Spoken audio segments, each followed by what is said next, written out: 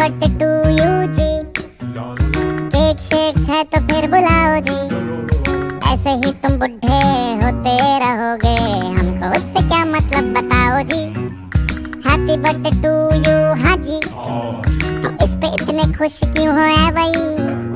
तुम तो बरसों पहले ही निकल चुके हो तो बर्थडे वाला नाटक ये क्यों है भाई?